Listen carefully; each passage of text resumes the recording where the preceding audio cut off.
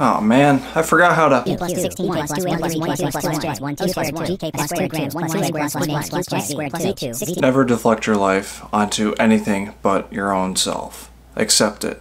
Learn with it. There could possibly be millions of types of situations within your life as a man that could play out very close to sabotage. But you have no thing to blame but yourself for that. And that's complete honesty.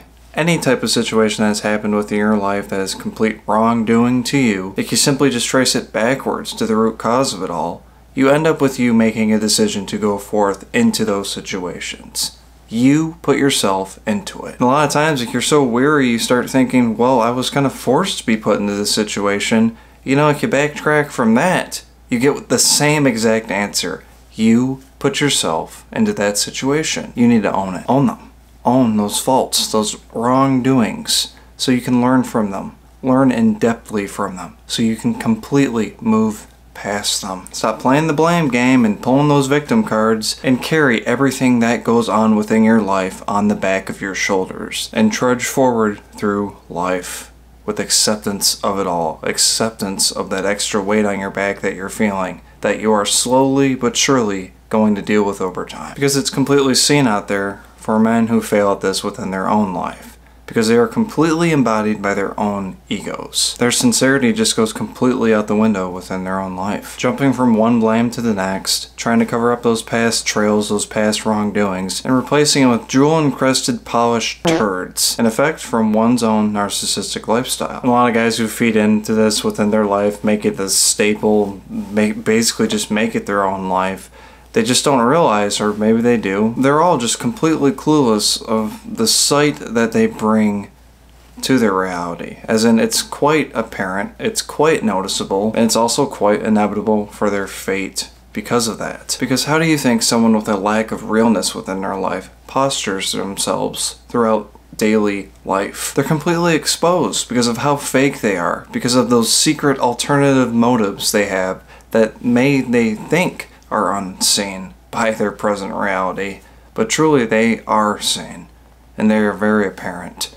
And it'll all come centerfold circle. You keep not dealing with your shit. Own everything that happens within your life.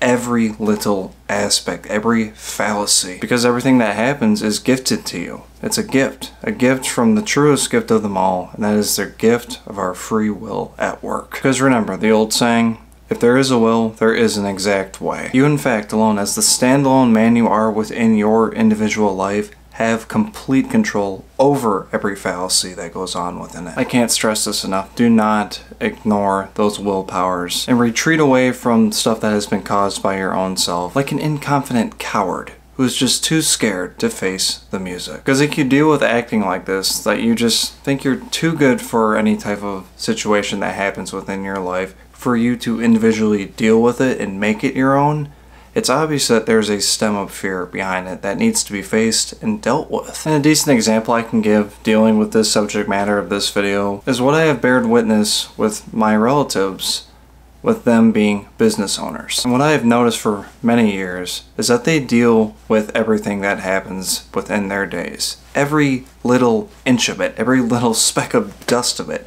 they deal with it. They go right to work on it. They in fact don't break under pressure.